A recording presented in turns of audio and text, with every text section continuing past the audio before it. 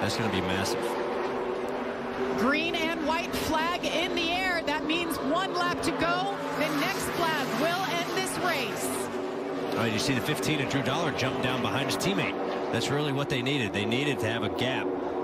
And if they get into second and third here, I'd be very worried if I was Brett Holmes. I'd got to be worried now because he's way out front, and you see the top starting to build momentum. Yeah, he's going to try to block both lanes. Not going to be able to get the top. Now he's stuck in the middle.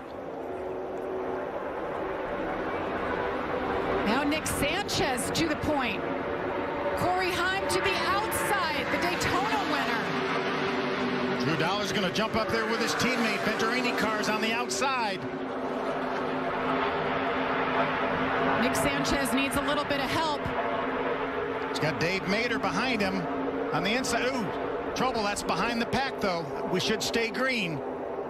It's not over yet. Sanchez has a big run. The start finish line's way down here.